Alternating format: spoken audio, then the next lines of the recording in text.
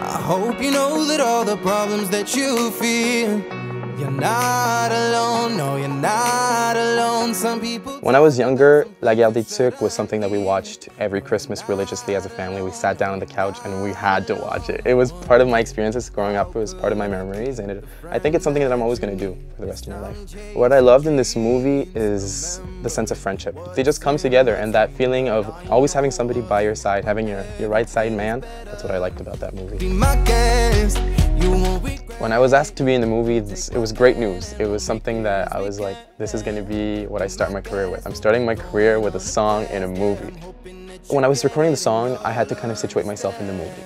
I have to understand the character, I have to understand the emotion that's being felt, and I have to understand the whole story, basically. It's not really me that is singing the song, it's more I'm singing the song for somebody else.